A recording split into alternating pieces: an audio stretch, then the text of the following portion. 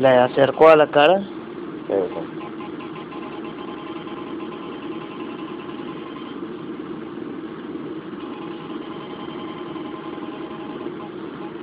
Oye, pero está fuerte, mira. Mira, porque si pasamos a la otra, Sí.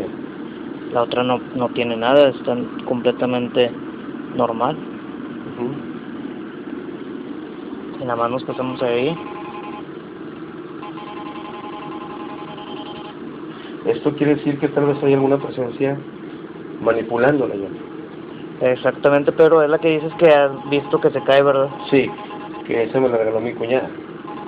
Sí, entonces aquí pues sí está fuerte las lecturas que está marcando el aparato.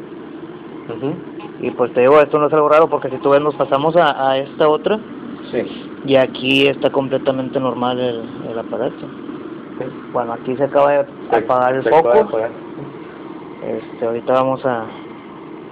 Si tú ves... Ah, aquí está también. Bueno, si quieres nos pasamos al elfo a ver qué tal, Ok. al qué tal nos va. Ujú.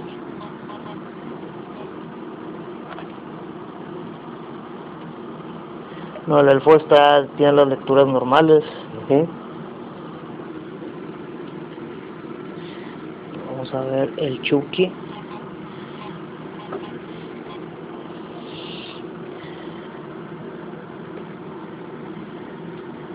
Este está normal también.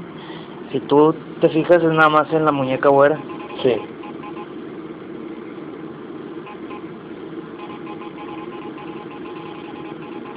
O sea, esto- y estas muñecas no son de pilas ni nada, son No, exactamente. completamente del cuerpo de trapo. Exacto. Eh, Vamos a checar el chango este.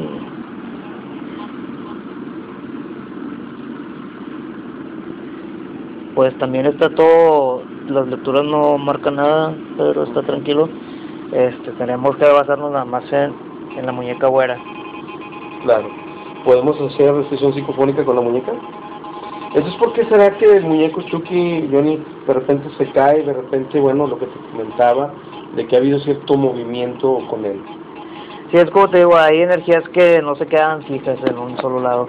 Puede ser eso de que esté cambiando de, de lugar, así como cambian de forma, pueden cambiar de, de lugar también. Ok, bueno. Entonces, ¿hacemos sesión psicofónica con los muñecos? Ok. Tú me dices, pausa.